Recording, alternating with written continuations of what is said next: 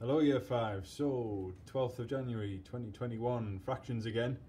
Uh, today it is to compare and order fractions. Started a little bit of this yesterday, comparing and ordering fractions. So yesterday we focused on fractions that were less than one, proper fractions. Today we're going to look more at improper and mixed number fractions, so ordering and comparing these types of fractions. Remember a few key things. We have got the keyword equivalent, equivalent fractions. That is really helpful. Equal and the same. Really helpful for when we're comparing order, ordering fractions. If fractions have different denominators, we might need to calculate equivalent fractions before we can order them or compare them. Two really important words as well. Descending meaning going down. So if you order fractions in descending order, you do from greatest to smallest, descending down, that's a way to remember it, and ascending going up, so from smallest to greatest. So those really two important things. And remember, if we are looking at equivalent fractions, we can remember the rhyme. If you do the same to the top and the bottom, equivalent fractions, you've got them. Right, that helps us remember how to calculate equivalent fractions, which as I've said, are really important when it comes to comparing and ordering. Now, before we go on to today's work, let's have a look back at some of these problems. Now, I spoke to a few uh, of you over Teams, give you some feedback on these, but we're going to go through the answers for anybody who was a little bit stuck on them. So, the first one, which representations of 4 fifths are incorrect? Correct. 4 out of 5 shaded. There's the fraction written, the proper fraction, 4 fifths. We have four out of five counters are purple. However, we have three out of five dogs. Don't ask me what those dogs are, I don't have a clue. The other issue we have here is now, you might think, all right, four out of five are shaded blue. That's four fifths. However, as some people rightly pointed out, these parts of the bar are not equal. Therefore, that cannot represent four fifths because four equal parts out of five, there are not four equal parts. Uh, so those three are correct representations and these two are incorrect. Right, the pairs of equivalent fractions found in the grid. Three quarters is the first fraction. Can we find one that is the same as 3 quarters. Now remember we have to do the same to the top as we would to the bottom and anybody spot one? There is not an equivalent fraction for 3 quarters. What about 3 fifths? I just realised I'm not zoomed in properly. 3 fifths. Is there an equivalent fraction for 3 fifths?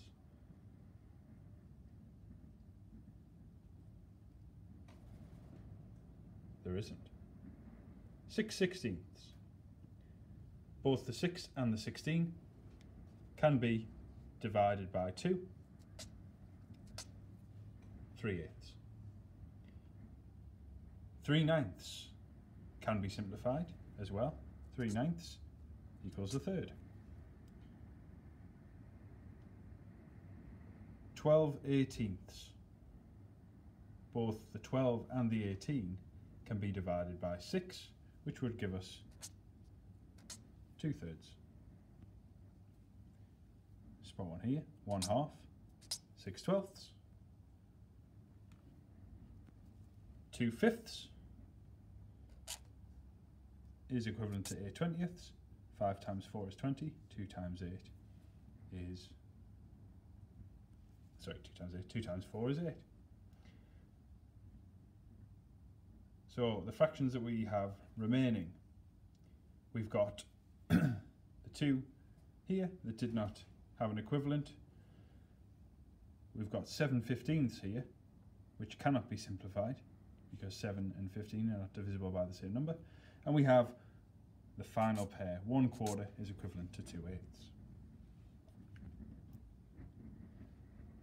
Next question. Eva says I know that 3 quarters is equivalent to 3 eighths because the numerators are the same. Well, we can use what we've got in here to help answer this. 3 quarters is not equivalent to 3 eighths, I'm afraid, either. Because if we want to make 3 quarters into eighths,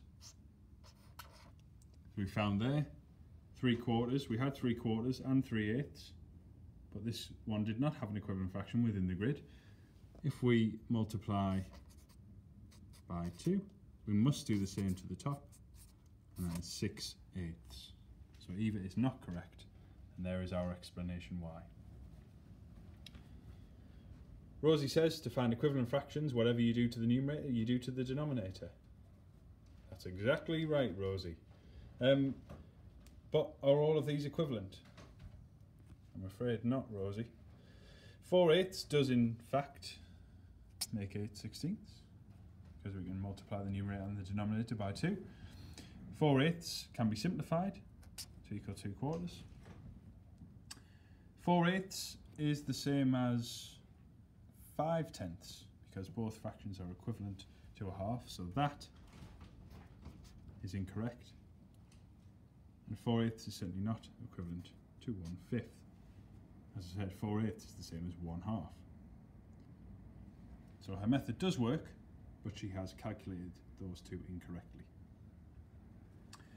Number 5, Ron thinks you can only simplify even numbered fractions because you keep on halving the numerator and the denominator until you get an odd number.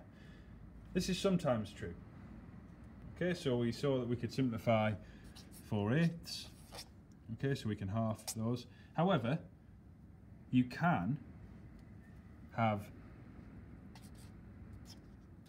an odd numerator and an odd denominator, like 3 ninths. 3 ninths can be simplified to make 1 third. So Ron is not correct. It is only sometimes true.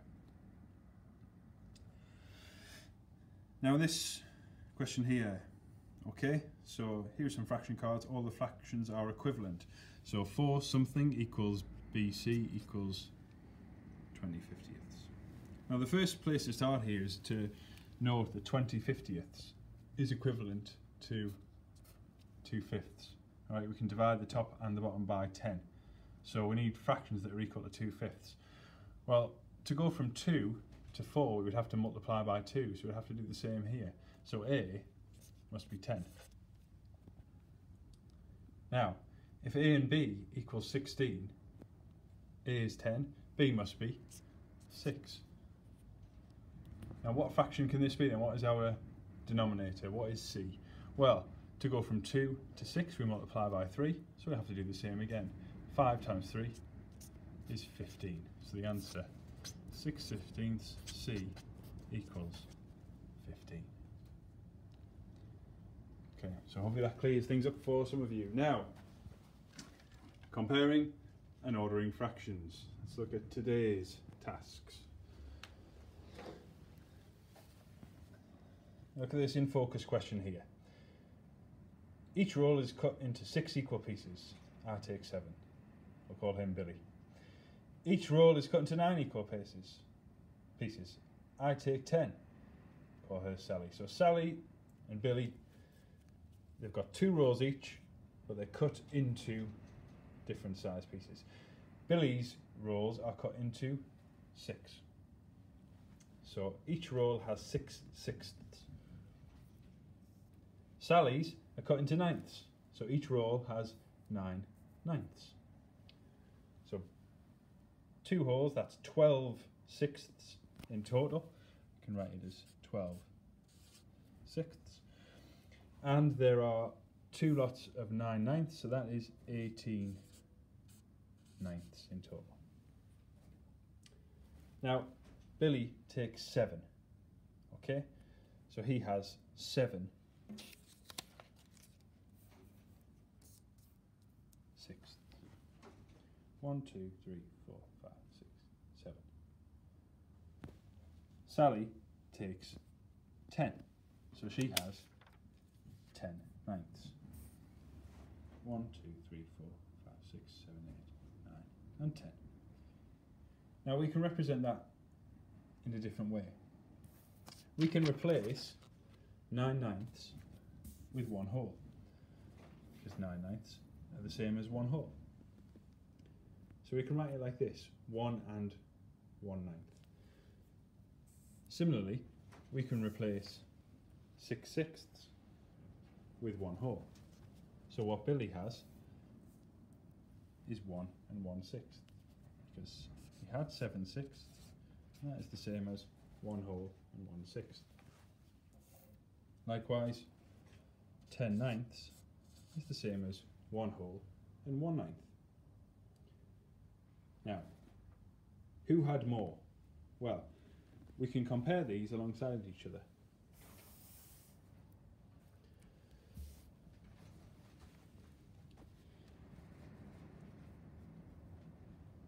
Sally's on the top, Billy's here. So they have one whole roll each.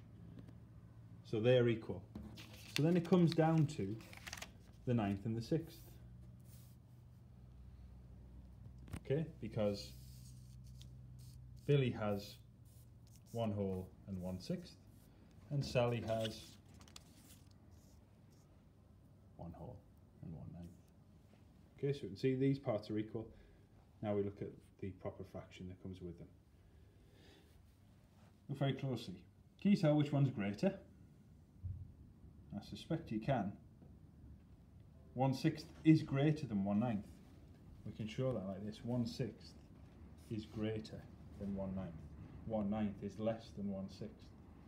So if we ask who had more, Billy or Sally, the answer is Billy.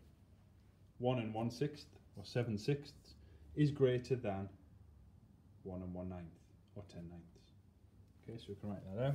We can say one and one sixth is greater than one and one ninth, or we can write it as seven sixths is greater than ten ninths. Okay. Now if we'd wanted to, we didn't have this in front of us, with these pieces showing which fraction is greater, we could turn them into equivalent fractions as well. Okay, so we've got one sixth and one ninth. Well, one sixth equals three eighteenths. Six times three is 18, 1 times three is three. One ninth equals two eighteenths. So we can see that one sixth is greater than one ninth. So we can use our equivalent fractions when we're comparing these fractions. Let's look at another example. We have three bottles here. The amount of water in each bottle is different. Which bottle has the least water? Look at those zoomed in slightly. So we've got first bottle has one and three tenths of a litre. The next one, one and two fifths, and two and one fifth of a litre. So which bottle has the least water? Well, sometimes with questions like these, you can straight away take out one of the options. All right. You can see here we've got one and three tenths, one and two fifths, two, two wholes and a fifth. This cannot be the bottle with the least water because that has two litres as opposed to the other two. Right? This one has two, the others have one. So let's look then. We can eliminate that option. That has the most water. That's the greatest value. Let's look at these two then. One and three tenths and one and two fifths. Which one has the least? Let's look at these representations of the fractions. We've got one and three tenths here, and we've got one and three fifths here. Now, just looking at them, can you tell which one is less? I bet you can. But again, we can prove it. All right, one and three tenths. Why not use equivalent fractions to work this out? Now, three fifths. Let's make that into tenths. Five times 2. Whatever you do to the top, you must do to the bottom. So we do both of them. 3 times 2 is 6. So 3 fifths equals 6 tenths. Therefore, 1 and 3 fifths equals 1 and 6 tenths.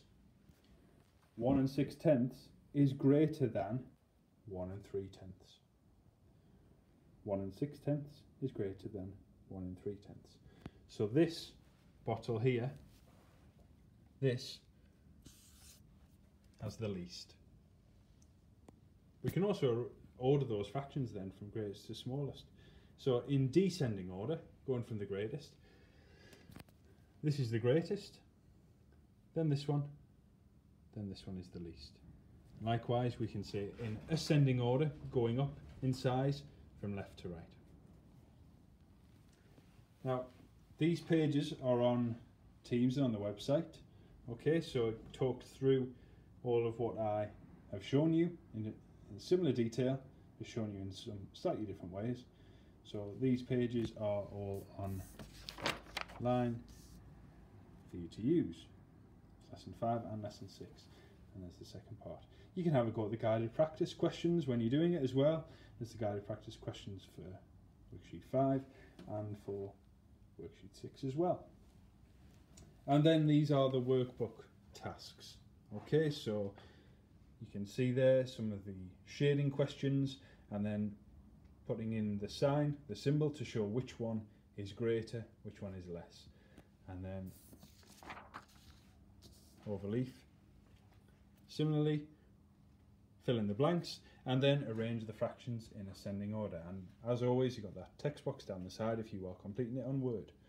Um, reminder there, descending means down, so the order of the fractions from greatest to smallest. Likewise, ascending means up, so go from smallest to greatest. There are four sheets in total. There's sheet three and sheet four, and they are all attached to the assignment on Teams. Okay, so to recap those key terms. Really important message. If you don't have these already at home, these are on Google. These things are called fraction walls. All right, they may be really helpful when it comes to this fraction walls. So you can print them off, or you can just make your own out of a piece of paper. All right, and then you can do the way I've been doing by cutting bits out, arranging things, okay? Lots of different ways to help. I'll be amazed if any of you have these at home. I certainly don't, but they're really helpful. Okay. Looking forward to seeing all your answers. And that's it for today. Thanks.